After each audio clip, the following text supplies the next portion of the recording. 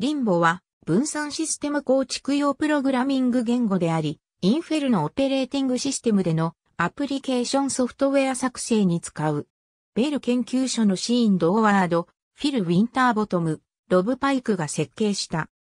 リンボコンパイラは、アーキテクチャ独立なオブジェクトコードを生成し、それをディス仮想機械でインタプリタ実行するか、性能を強化するために実行直前にコンパイルする。したがって、リンボで書いたアプリケーションは、すべてのインフェルのプラットフォーム上で動作可能である。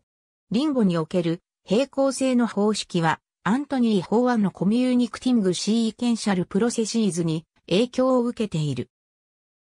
リンボは次のような機能を備えている。リンボはパスカル風の定義を採用している。ネームイコールタイプバリュー。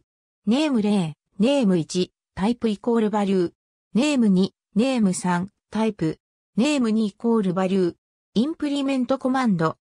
include sys、メートル。 sys、sys。include draw、メートル。 include sh、メートル。 init。 sys equal load sys sys minus path。sys minus print。インフェルノの第3版とリンボは、フィリップ・スタンリー・マーベルの教科書的著書 Inferno、Programming with、Limbo ISBN 0から470843527で解説されている。